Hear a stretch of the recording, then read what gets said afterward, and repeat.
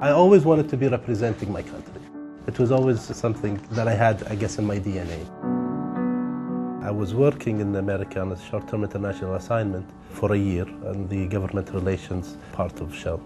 The opportunity came because uh, of um, the importance of Qatar, I guess, within the Shell group.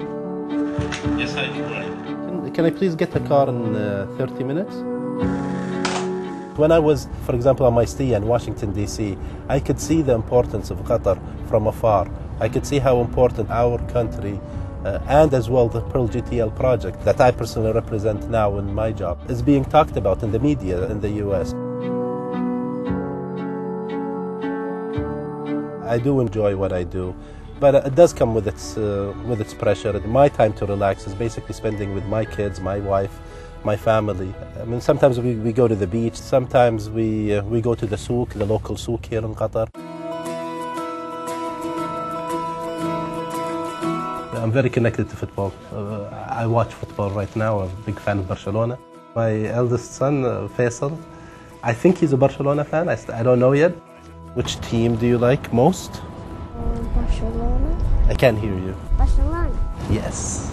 I would like my son's first job to be a job that's exciting, a job that brings in a new learning perspective for him, a job that takes him into new challenges, a journey of learning, a journey of excitement, a journey of development.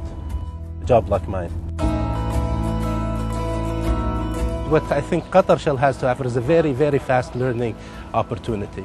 So what you gain here in one or two years, you probably would gain someplace else takes you five, six, seven years.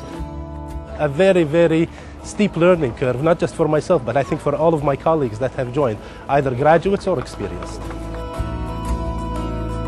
Well, I do represent a project that is a breakthrough in technology. Being part of this team here in Qatar, being part of, of the Pearl GTL project, you're attached to a project which is first of its kind at a world class level.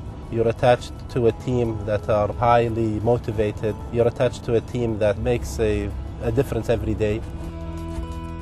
Maybe my journey here with Shell will take me to a place that is as exciting or, or more exciting, but I think it's going to be tough. I can't think of any other place in the world that, um, that I would like to be in.